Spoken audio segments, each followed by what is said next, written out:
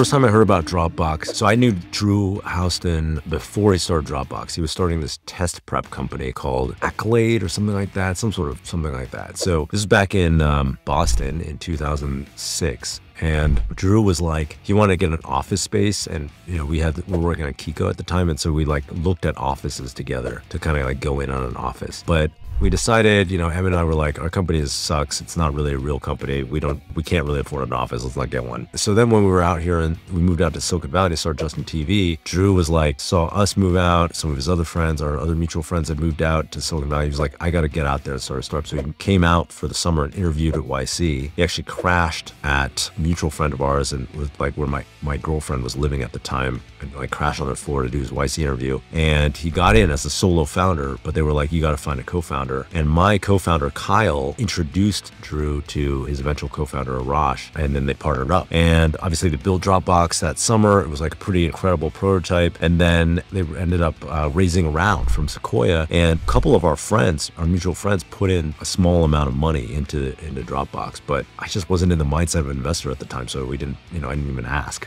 even though I was like one of the first users. Obviously, the product was incredible. It grew. They hired amazing people, and uh, now it's like a I don't know. It's like a utility of the internet now. It's incredible. One learning from Dropbox: always invest in your friends. Otherwise, the FOMO might literally kill you. The first time I ever used GitHub was when we started using it at Justin TV. And before that, we had used Subversion uh, for the longest time. And I think we switched to Git because we wanted to use GitHub. Because with, you know, GitHub, it was just like an easier way to like kind of share your source among your, your company. So that was like a long time ago, like 11, 12 years ago. Probably whatever. Actually, it's probably 2008 we first started using GitHub. It's a great product. I never thought it would be that big. Developer tools have been has been a big industry for a really long time, but just for whatever reason, I didn't pattern match. Like GitHub could be like as big as it is today. I mean, my biggest interaction with Robinhood was last year when they stopped trading on Wall Street Bets stocks like AMC and GameStop. Like that shit's a scam, bro. Of course, they've supplied some technical reasons why that was the case, but I don't know. It was sus. That's all I got to say about Robinhood. Facebook.